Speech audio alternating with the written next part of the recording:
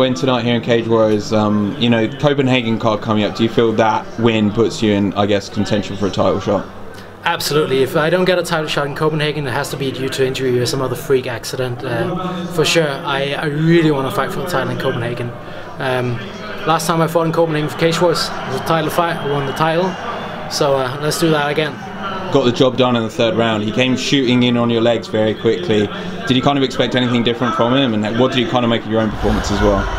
Well, we kind of knew that was an option for him against somebody like me uh, taking into account his skill set. Because, yeah, to be as objective as possible, I'm probably the better striker.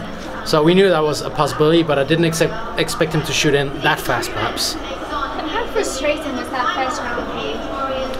It wasn't particularly frustrating. I knew I lost the round when it was when the round was over, but you know I, I got a I got a pretty good sense of his power, his his his movement. So I knew it wasn't the best start, but I didn't feel like I was getting super overpowered or that I, I got run over. Alex Lohore had a pretty incredible win tonight over Tim Barnett. He was also calling for a title shot. Why do you think he deserves a shot uh, over Lohore and what are your thoughts on him as a potential matchup? I think I deserve the title shot because I'm the better fighter. I, I, am the Cage Warriors welterweight champion. I just need to go and, uh, and fight the guy who has the belt, my belt.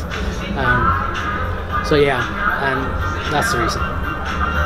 Spoke before this about how much this fight meant to Phil Peter going into it. Did you feel that kind of desire out of him in the fight? It was fairly back and forth, epic fight, as far as all the fans are concerned at home. I definitely felt that he was he was game for the fight, and I saw that in his eyes at the weigh-in. Um, I, I, I, can't say how much it meant to him or not, but he was definitely game for the fight, and he kept putting the pressure on as he always does. Um, so yeah, did an excellent fight. I have so much respect for Mal Peter. I really like the guy. So in a way, it was. I, I didn't want to fight him, if you know what I mean. He was such a nice guy. I want him to do well as, as well.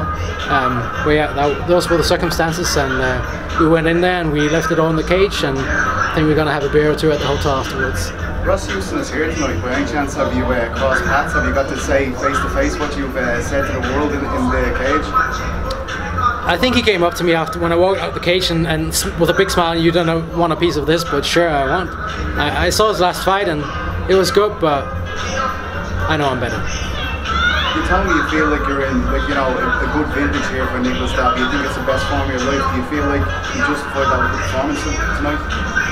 I might not be in the te best technical uh, place I've ever been in, but mentally I'm light years ahead of what I've ever been before, and I the last couple of fights I've been feeling this calmness before I walk out to the fights. I always felt tense and kind of like ugh, tensed up. But the last couple of fights I've, I've found this like not inner peace. That sounds very uh, yoga-ish, but like I've there's just this calmness that comes over me just before I enter the cage. This was your first fight as a father. I mean, fighters talk about you know fighting differently, fighting emotionally when they become a parent. Did you have any kind of different experiences?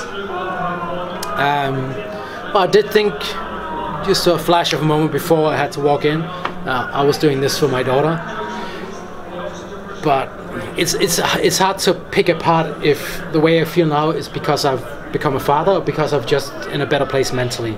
Maybe those things like are together, or maybe just happen separately and anyway, I, I, just feel good in a good place right now, and I'm happy to have my daughter, of course, um, who was here as well. If you saw her cage side with the mummy, that was quite incredible.